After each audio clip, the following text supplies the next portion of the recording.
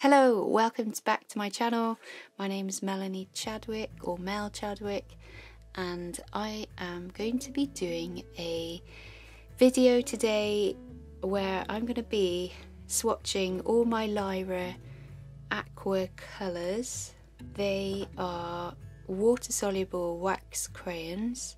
They're very much like the Caran d'Ache Neocolor 2 but these are slightly less expensive.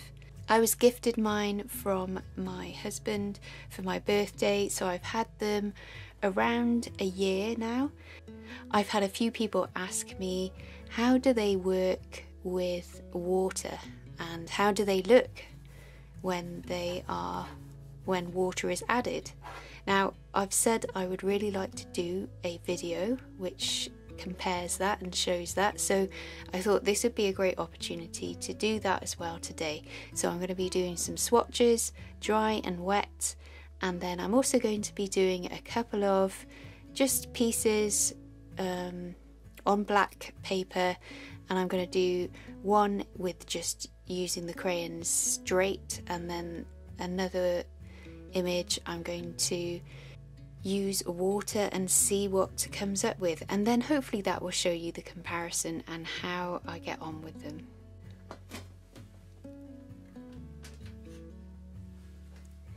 So as you can see there some of them have been used um, obviously I've had them a year now and you can see which colours I use the most by how um, small they are. I think the smallest crayon it could be this one but also this green as well. So and you can see some of the colours I probably haven't even used like that blue and that blue violet.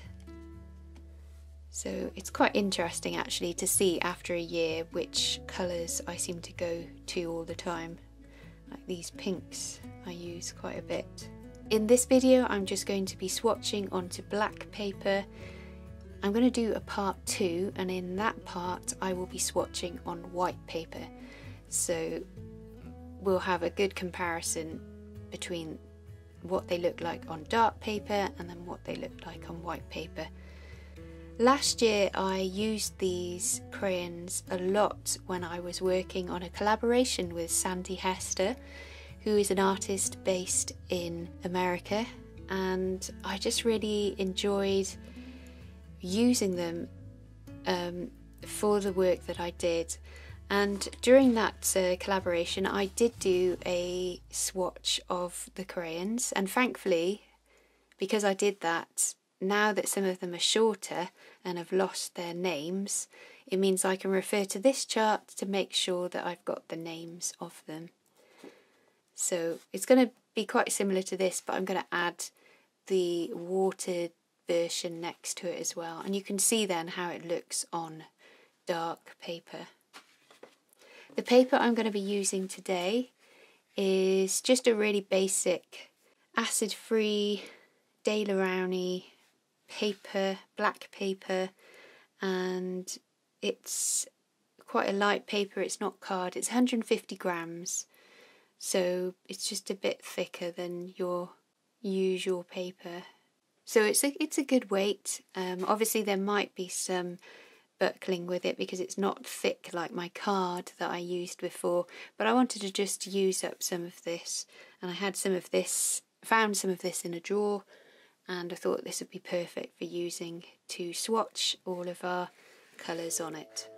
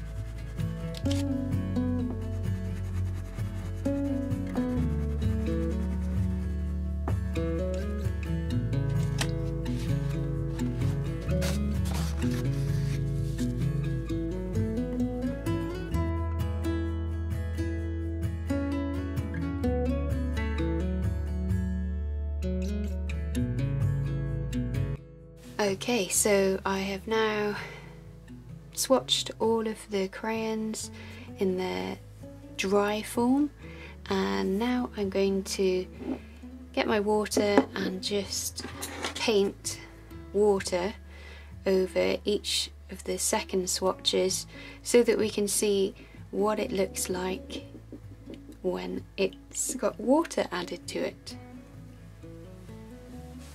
I'm going to make sure I have a piece of kitchen towel so I can wipe the brush in between.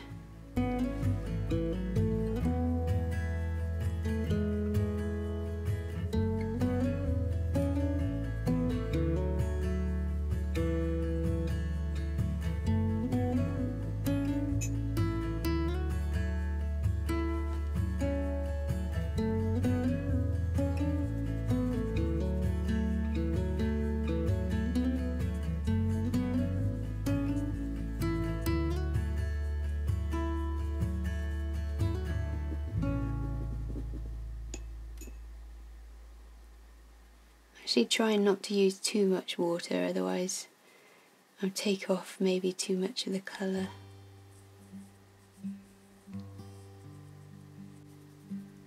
It kind of starts to look a little bit like chalk.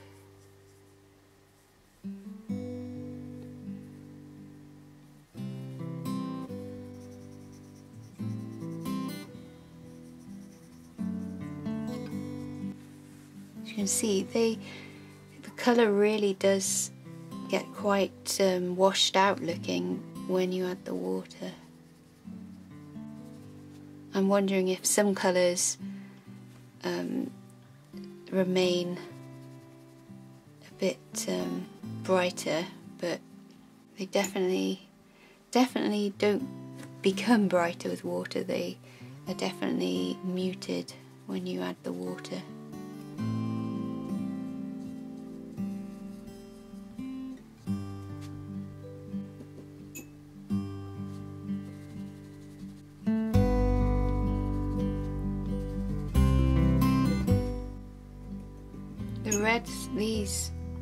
Reds seem to be holding up.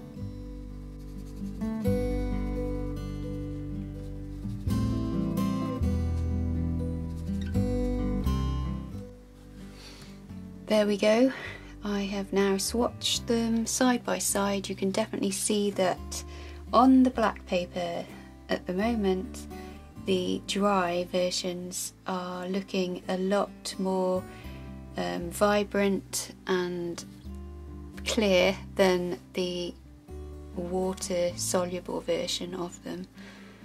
But it is interesting to see which colours have fared better with the water on top.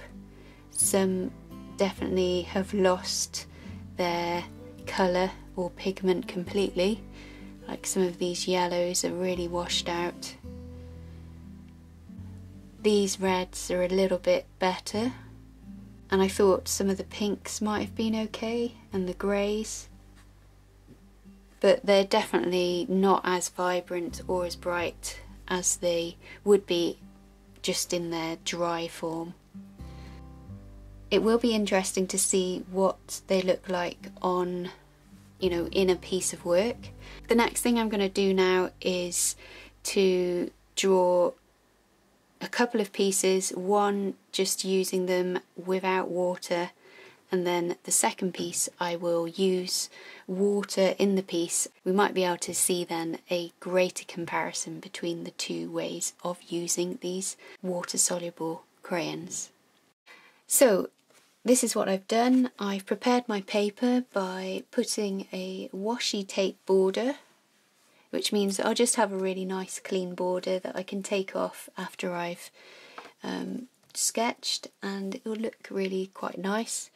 And I'm going to be using an image which, if you know Sandi Hester, she has been doing a lot of still life painting and here's her setup that she has been working from recently. So she put this up on her Instagram account and said, feel free to paint from it. So I thought, yeah, excellent, I will paint from this image. So in the first sketch, I'm just going to draw, draw the image just using the crayons, I'm not going to use any water, I'm just going to draw it. And then the second sketch I do will be the, the same image, but I will add water to the crayons after I've drawn it. I think it will look really good though for us to see the two images side by side and we can see how they look different.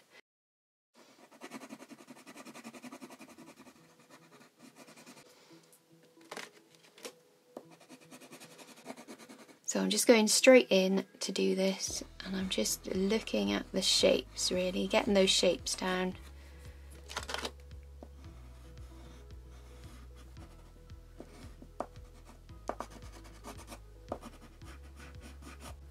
Try not to muck up all my crayons, but can't avoid it sometimes. Okay. So that's the jam jar. Rather than use white, I'm using the light grey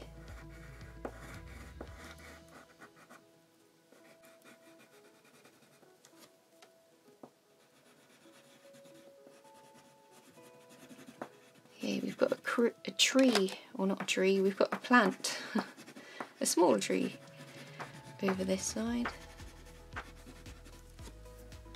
See a little bit of the brown. I think these crayons suit quite quick mark making. Just going to put in the banana. Nice bright yellow on one side. Actually there are a couple of bananas but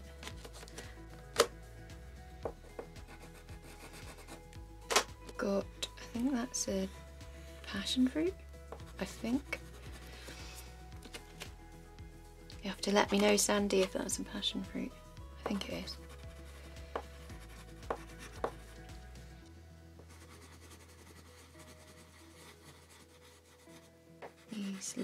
Satsumas or tangerines.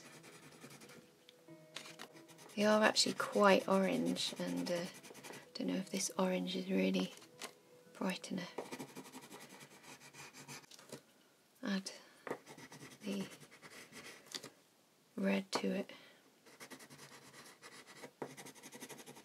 I'm going to add a bit of the table,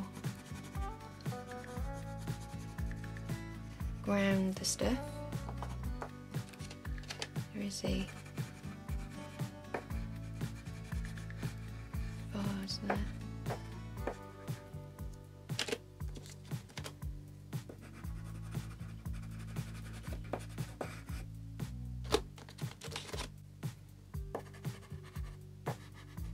do you like that plate, but we're not really going to see a lot of it on this drawing. Maybe this side we will.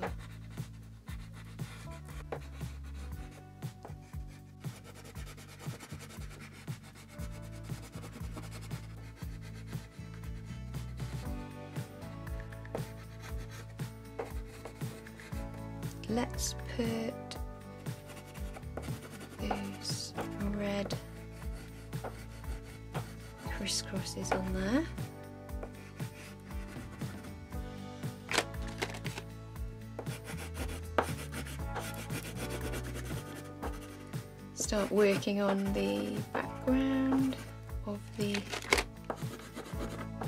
still life. Some flowers see if whether I can fit in the heads of them.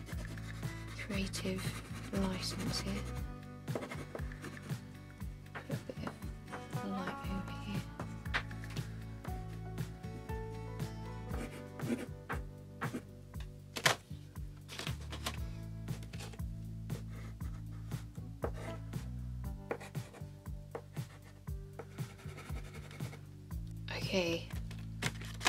choice there. I'm gonna put in a background. I'm gonna do a pink, I think.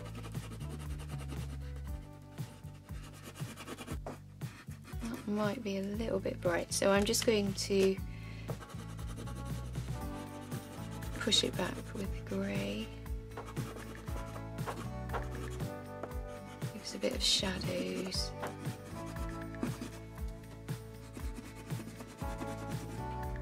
Going to add now a bit of blue to the plate.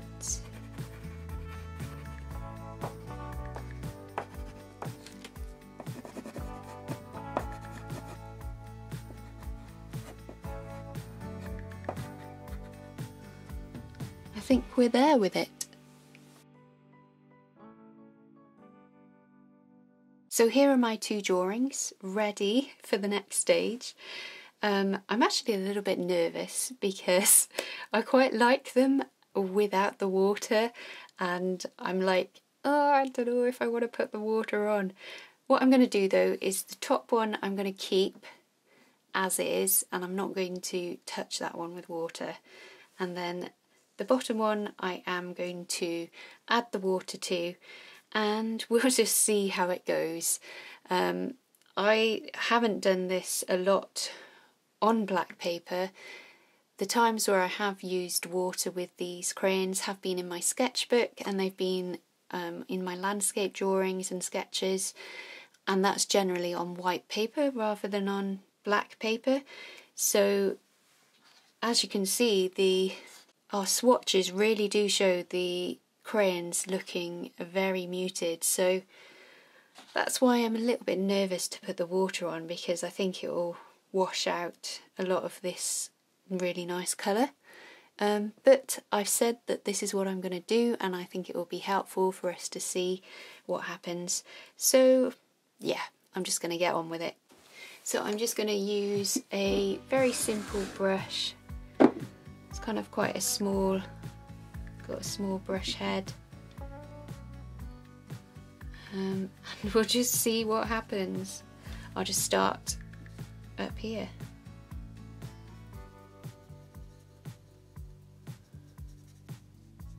Obviously I don't want to just blend everything into one big smoosh um, so I'm going to try and just gently stroke the areas and try and keep the colours where they are. I was interested to see what would happen to the colours that I've layered on top of each colour, whether they just blend into one colour, probably. That's interesting. Some of the some of the crayon is definitely um, disintegrating and blending, and then um, some of it isn't. So got an interesting effect going on. And I think, you know, depending on how much water you put on the brush will then um, affect how how muted the crayon will become.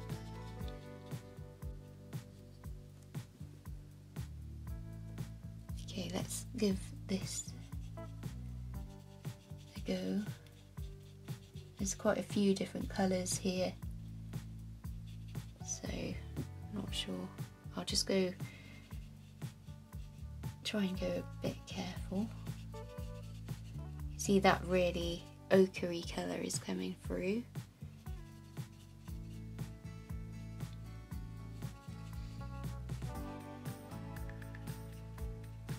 Again so some bits are definitely kind of becoming water soluble and then other bits are a bit more grainy. Let's give a go on the plant. Try and just paint them as if I'm just painting the leaves. Tackle the banana. Kind of almost looks a bit green.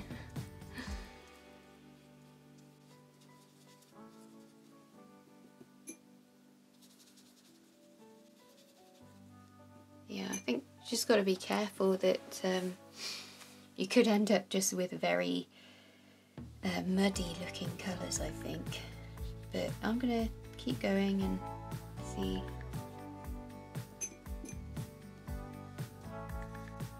maybe less, try and do a bit less water and might be able to keep some of the highlights.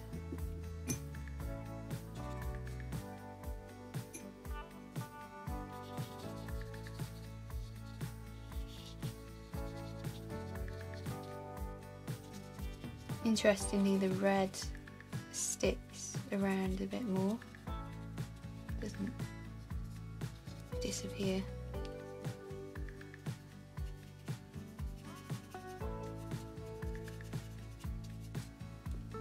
Yeah, I think almost got all the bits.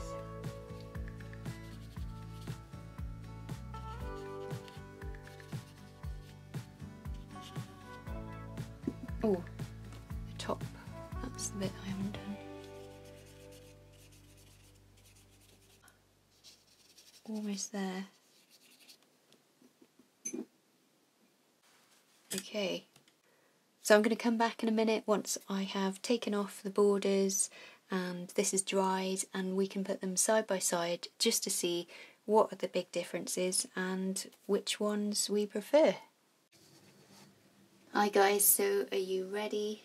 Ready for the reveal? This is number one.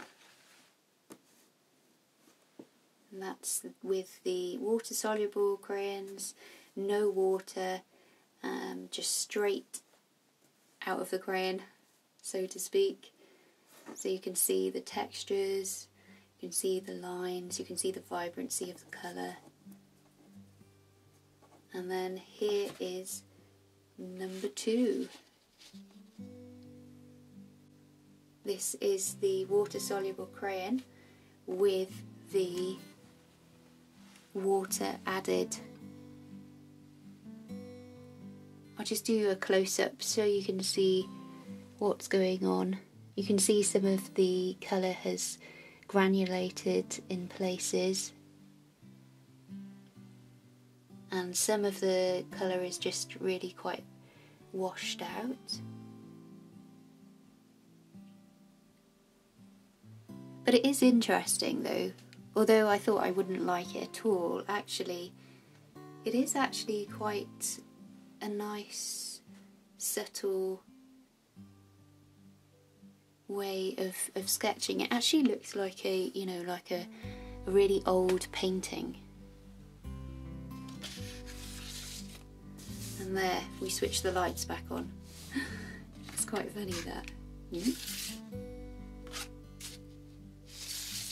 The dry crayon on the black really works for me, I really like it.